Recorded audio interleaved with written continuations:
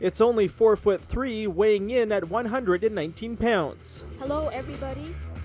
Nonetheless, ASIMO is a big deal.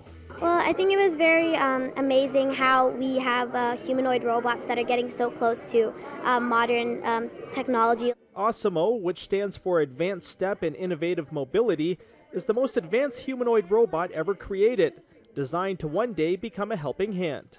That could mean helping people in a, you know, in a, in a healthcare environment, helping people in their homes, helping someone who's confined to a bed or a wheelchair move vicariously uh, in their own environment. Equipped with 34 separate servo motors, ASIMO can kick a soccer ball.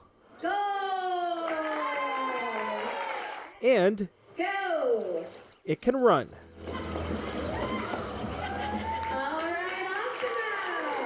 When seeing ASIMO in action, you can't help but think of some of the most famous characters in science fiction to grace the silver screen.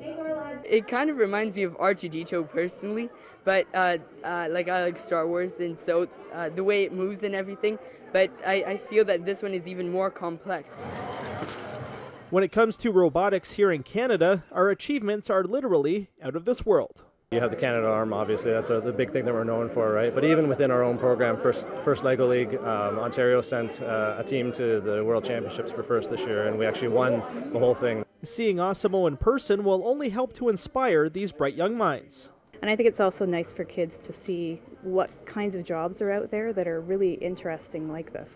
All work and no play? Not exactly. ASIMO also knows how to do the robot. Rob Leth, Global News.